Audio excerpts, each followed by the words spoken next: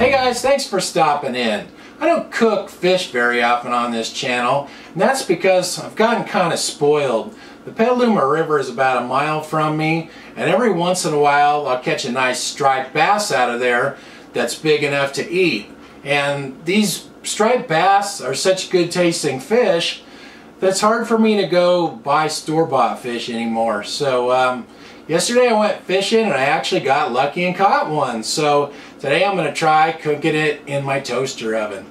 So let's get toasting.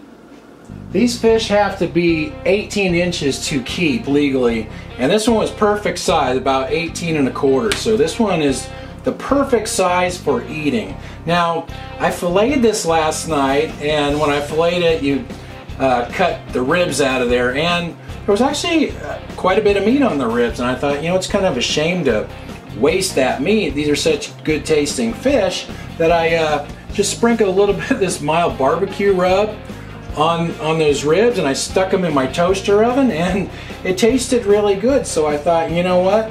I've never tried cooking fish this way but I'm just gonna try sprinkling the fish with the same mild barbecue rub. This is Kinder's and um, just baking them in the toaster oven and see how they are. I think they ought to be pretty good.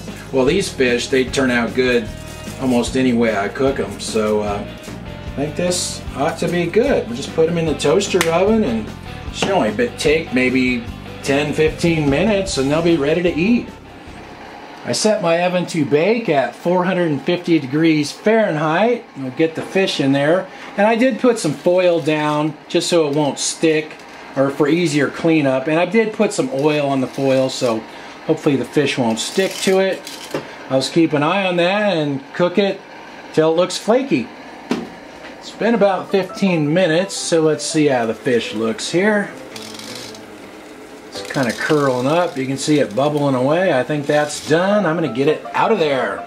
I can't wait to try this. I've caught quite a few different types of fish over the years.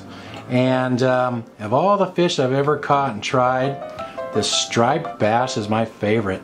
Look how moist that is and flaky. Let's try it. Ah, oh, man, that is so good.